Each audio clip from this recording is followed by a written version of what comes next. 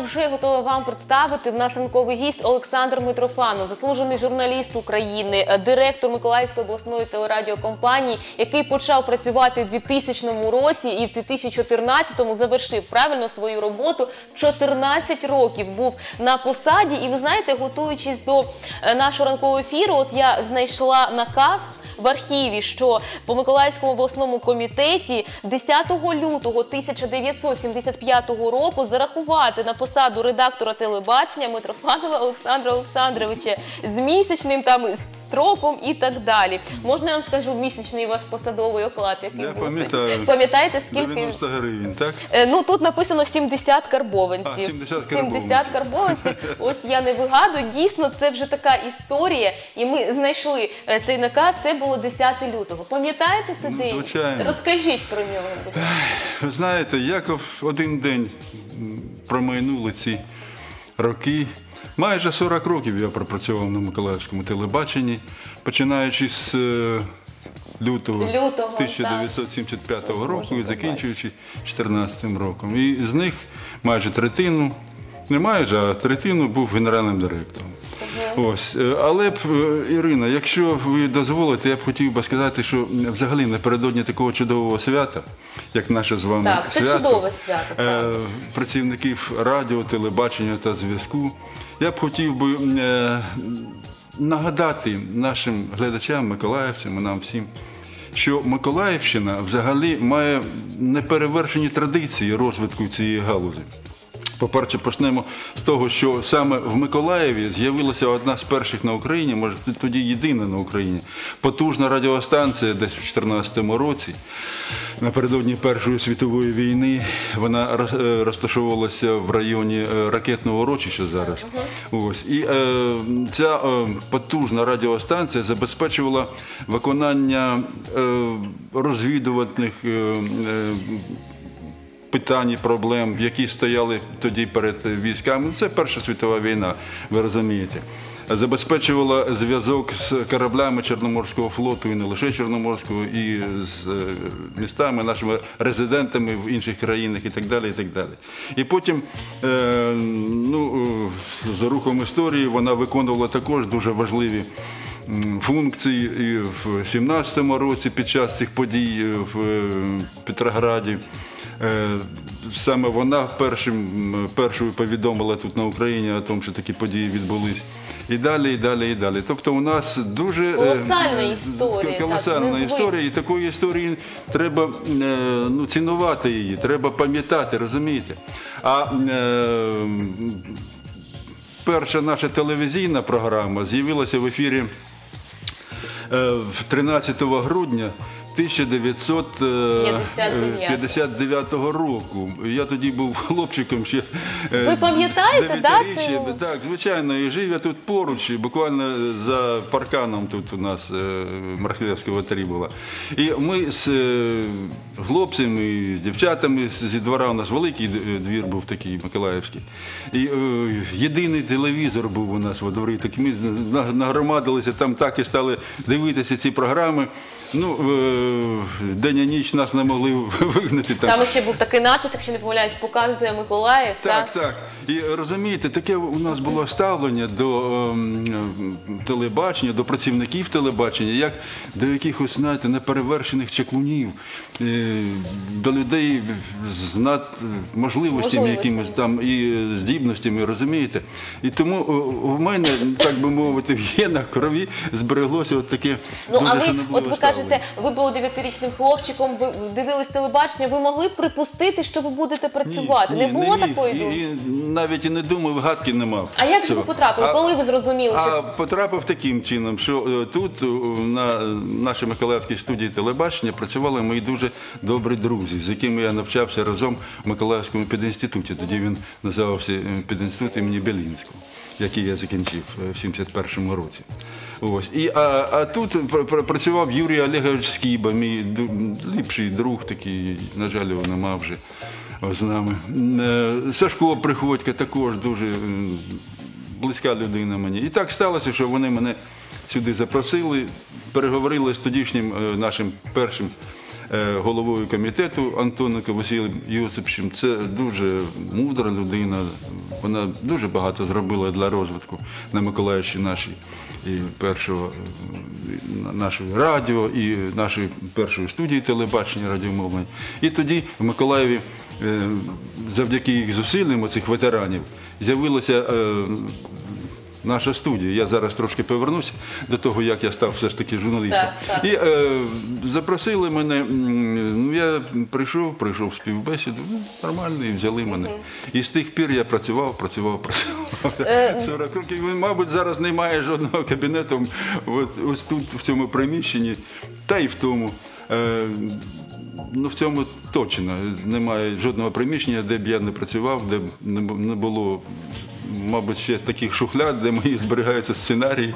Так, над якими є я таке, працював. інколи знаходимо ми і дуже так е, ну, зворушливо так е, ви- вичитуємо ці моменти. Да. Скажіть, а от дуже ж життя. багато років пройшло. У вас вже колосальний досвід. Як змінювалося телебачення? Кардинально воно змінилося від тих років і до сьогодення. Що можливо варто залишити, що незмінне має бути завжди в телебаченні? От хоті цікаво почути Ірина, вашу я не думку. хочу вдаватися дуже глибоко в цю тему. Це, по-перше, болюча тема для мене. Ось е, я е, спостерігаю дійсно, як трансформується наше телебачення, і е, певною мірою я не згодний з тим, що відбувається. По-перше, е, ну, це не залежить від вас, не залежить від е, моїх колег, які зараз працюють, а залежить від нашого часу, від е, тієї ситуації, в якій опинилася і наша країна, і наш світ взагалі. Ви розумієте, зараз е, дуже затребувана саме інформаційна е, тематика, інформаційний жанр. Ну не дарма кажуть, що це четверта влада, да? Тому що ми інформацію це, под- це перше. Друге, оці е, з'явилося зараз і все більше, ну так би мовити, привертають увагу глядачів ток-шоу різноманітні на політичні теми. І я просто, знаєте, мені б хотілося все ж таки інколи хоча б побачити і нарис. Побачити душу журналіста, його розум, його ставлення до цього життя. А саме цей жанр дозволяє журналісту відбутися як справжня творча особистість, розумієте? А на інформації, ну я не знаю, це важко зробити, погодьтеся. Так. От, і ем, оця от трансформація мені не, не дуже, чесно кажучи, до вподоби. Але ну таке життя, знаєте. Е, Жанр це історичний е, такий фактор, який суспільно-історичний, ну, який змінюється незалежно від нашого е, бажання. Це перше. Друге. Я не зовсім згодний з тим, що ось так такими шаленими темпами е, трансформується наше державне телебачення, розумієте? Е, мені здається, що все ж таки тут наші можновладці трошки поспішають, Е, тому що ще не сформувалося у нас громадянське суспільство е, в, тою, е, в, тій якості, в якій повинно воно бути в демократичній цивілізованій державі. А тут, мабуть, все ж таки повинно, щоб у держави був інструмент певний впливу. Так, впливу на це формування, розумієте? Впливу на е, думку громадську, на її е, виховання і так далі. Все виконання тих функцій, які передбачає саме телебачення. І е, розумієте, ну кажуть, що суспільне телебачення більш, так би мовити, вільне стало від впливу місцевої влади. Ну, так, Мабуть, так воно і є. Так, так і є, От, так. І дійсно це помітно. Ось, е, але я не думаю, щоб взагалі, так сказати, ви були вільні від будь-якого впливу. Мабуть, все ж таки він залиша- залишається. Ну, це таке риторичне Так, вже, да. скажімо Але я не так. хочу заглиблюватися. Так, не будемо. Я просто ви мене я спитали, дякую так, відповів. за, за да. вашу думку. Вона цікава, мені дійсно цікаво було її почути. Я е, з вами не працювала. Я коли вже прийшла сюди на телебачення, цей канал, бу- були зміни, був інший директор, але про дуже багато про вас чого чула. Про вас згадують з посмішкою, з, з найтеплішими такими емоціями, почуттями. От є якісь такі випадки цікаві, курйозні, може складні, які ви пам'ятаєте, які от пронесете з собою дуже дуже ще довго. От щось таке, що найбільше закарбувалося у вас, у вашій пам'яті чи у вашому серці, як журналіста, як директора цієї ко- Ой, ви знаєте, ну я не можу не згадати. Напевно, безліч їх було. епізод їх дійсно безліч. Ну, почнемо з того, що мій перший ефір. Ось тут в цій студії, Так. перший ефір, я е, сиджу от там, е, стілець був, і стіл невеличкий, і мені ж е, сказали, що ти ж дивись, Сашко, не, не треба читати, тому що ну, це не пасує журналісту. Буде видно, що да, сидимо, це, не це треба думати в кадрі, треба, щоб очі бачили твої глядачі. Добре. І в мене був сюжет про шви, швачку. Тоді фабрика імені Кірова у нас була. Надія Водолага була там така.